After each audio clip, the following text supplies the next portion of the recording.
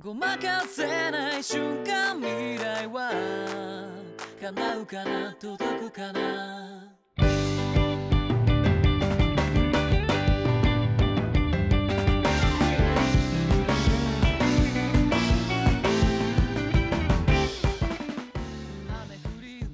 この番組は大阪芸術大学グループがお送りします。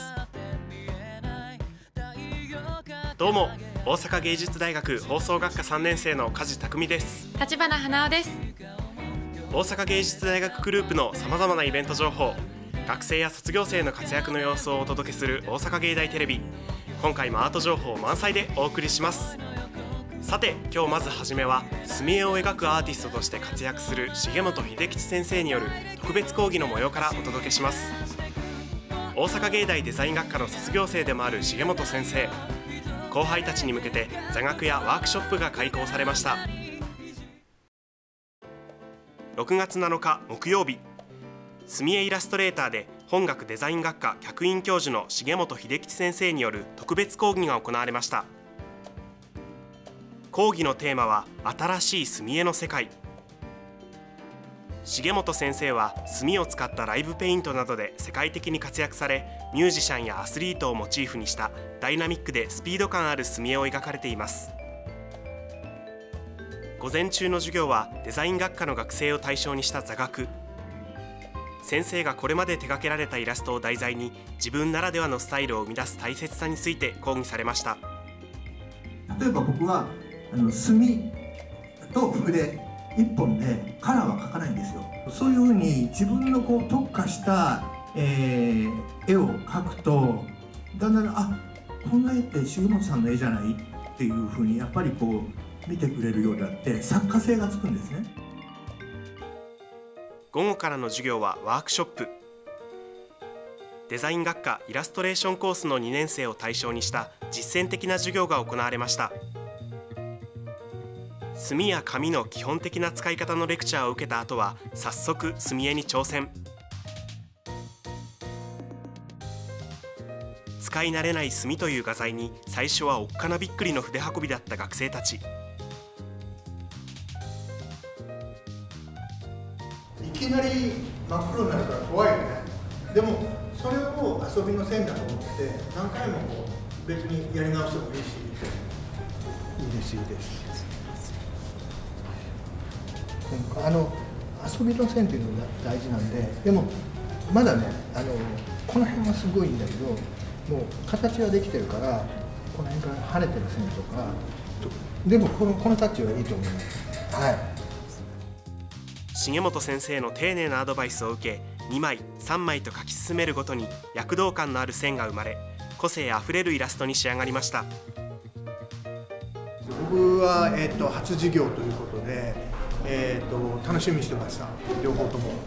同じ筆の太さと同じ紙なのにこれだけタッチが違うあの力強さが違う。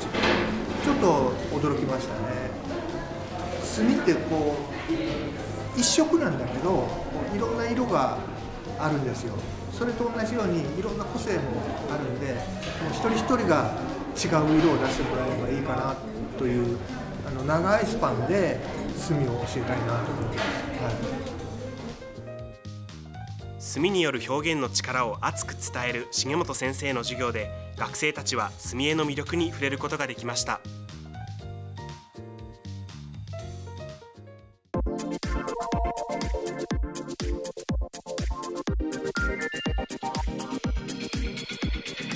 さて続いては特集です。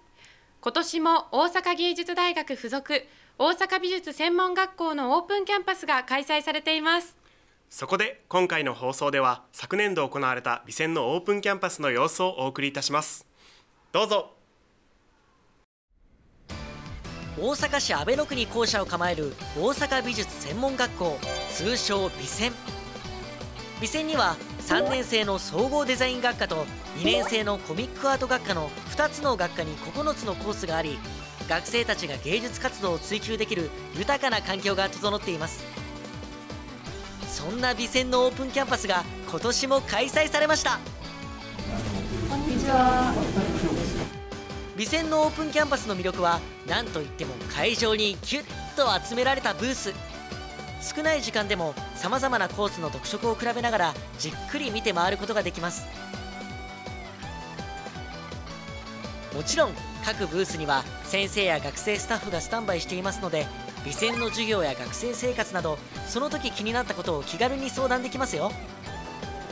またブースを回っているとつい目に留まるのがコースごとに設けられたミニ体験コーナー。ここでは工芸体験やイラスト制作体験など各コースの特色を生かした作品制作にチャレンジすることができます。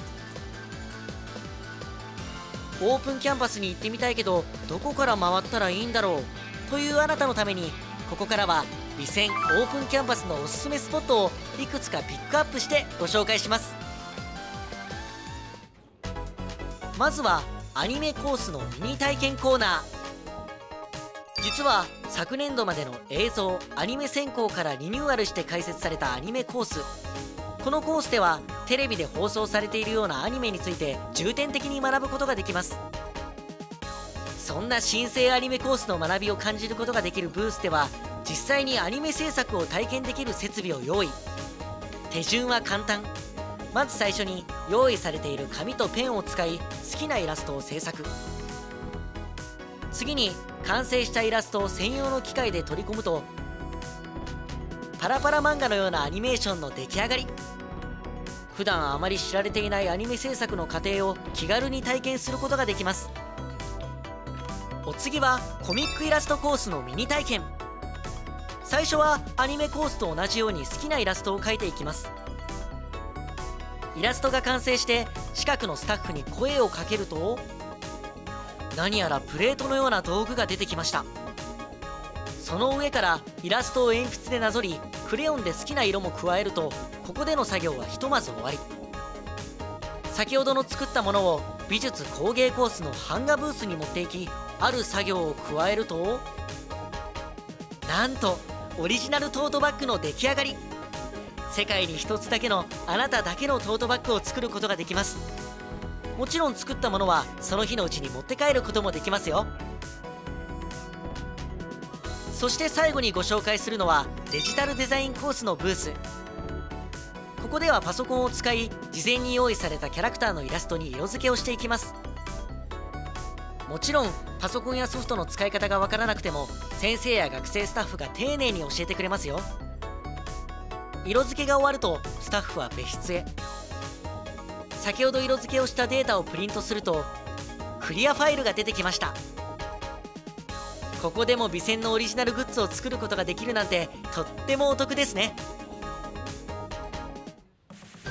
さて映像でお伝えしてきた備線オープンキャンパスいかがだったでしょうか？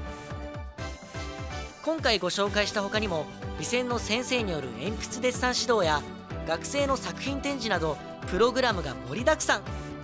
次回のオープンキャンパスにはぜひ会場にお越しくださいね。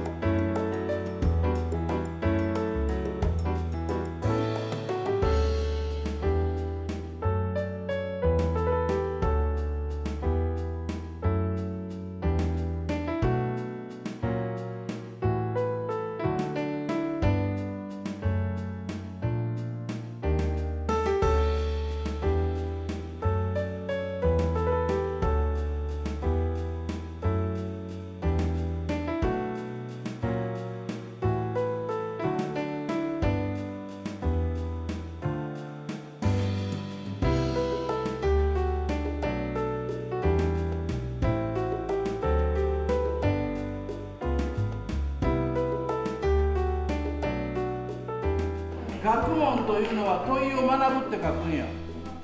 ということはこれは今何をしてるんや？ということを問うていく。古代の哲学者とソクラテスが無知の知という言葉で私は知らないということを知っている。私は知らないかもしれないということを知っている人。これは学ぶ力のある人です。巻いた後にすぐほどく。切ない寂しい。嫌や。人生こんなもんや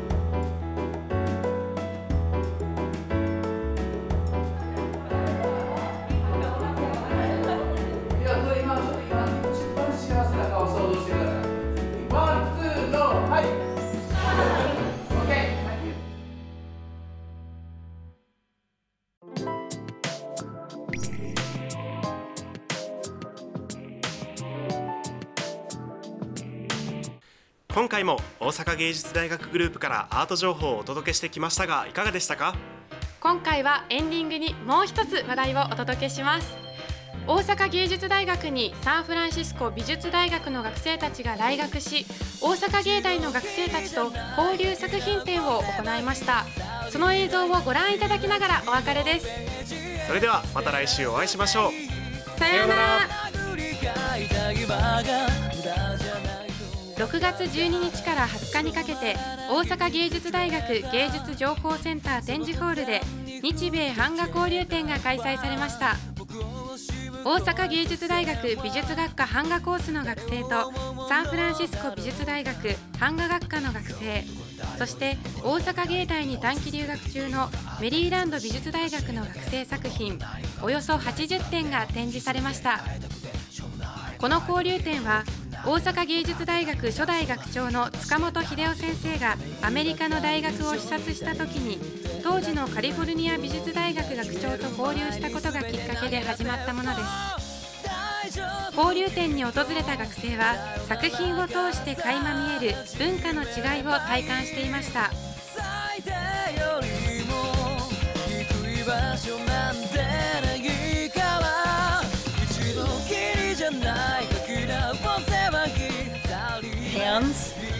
Important. So how this figure self rests on the hand and that body language, there's kind of this realization, emotion.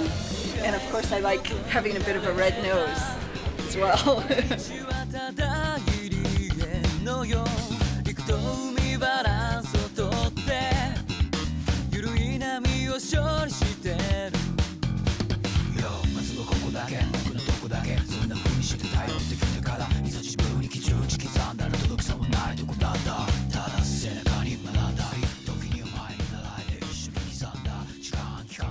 この番組は大阪芸術大学グループがお送りしました。